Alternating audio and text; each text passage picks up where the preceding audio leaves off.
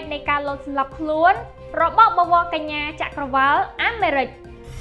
សូមស្វាគមន៍មកកាន់អគារជាសំណាងផ្ទេប្រាក់និងបដូរប្រាក់អគារជាសំណាងមានសេវាកម្មជាច្រើនដូចជាបដូរប្រាក់គ្រប់ប្រភេទដកប្រាក់ផ្ទេប្រាក់ក្នុងស្រុកនិងក្រៅស្រុកផ្ទេប្រាក់ដកប្រាក់តាមរយៈវិញ25ខេត្តក្រុងជាពិសេសលោកអ្នកក៏អាចបង់វិក័យប័ត្រទឹកភ្លើងនិងវិក័យប័ត្រផ្សេងផ្សេងជាច្រើនទៀតអគារជាសំណាងផ្ដល់ជូននូវសុវត្ថិភាព ទំនុកចិត្តខ្ពស់សេវាកម្មរហ័សទាន់ចិត្ត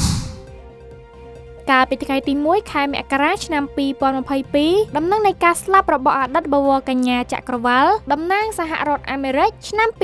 2019 Charlie Chris បានធ្វើឲ្យមហាជនស្លុតចិត្តជាខ្លាំងដោយនាងបានលោតសម្លាប់ខ្លួនពីលើអាគារក្នុងវ័យ30ឆ្នាំការស្លាប់របស់ Charlie Chris ត្រូវបានគេរកឃើញថានាងកាត់មានជំងឺបាក់ទឹកចិត្តបញ្ជាក់ឡើងវិញថាព្រោះក្រោយបញ្ចប់ការប្រកួតបវរកញ្ញាចក្រវាល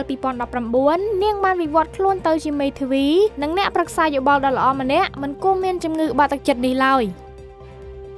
នាងខ្ញុំអេម៉ាពីផ្កាញូ